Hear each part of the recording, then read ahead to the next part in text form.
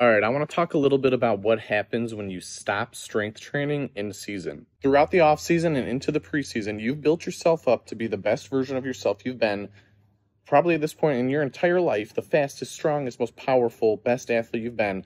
And here's your last training session when your first week of game starts and your schedule gets crazy and you don't know how to manage it. Lack of sleep, lack of good nutrition, not training anymore, you go on the decline. Sport alone is not enough of a strength stimulus to keep all the adaptations that you've worked and worked so hard to put on. Combat this, you want to continue training in season. This should be short and quick, about 30 minutes per workout, and it should be just enough of a stimulus to keep you where you're at without tipping you over the edge into big bouts of soreness like you've had during the off season, especially if you stay consistent with it. The whole point of doing organized strength and conditioning training like you do here at OGX or by the time you get to be a college athlete is to have you physically prepared and ready to play your sport at the highest level that you can. If I'm a good strength coach, I'm not going to program things for you that push you over the edge into soreness because the whole point is for you to be able to play the next day to your the best of your ability. So right now, at we're at the end of our season, you haven't had a strength training session since either February or March.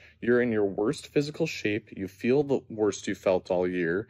You start to have these nagging injuries that are holding you back from performing to your best, all when the games are the most important that they could be. Don't let yourself get to this point in the worst physical shape you've been in since the off season ended.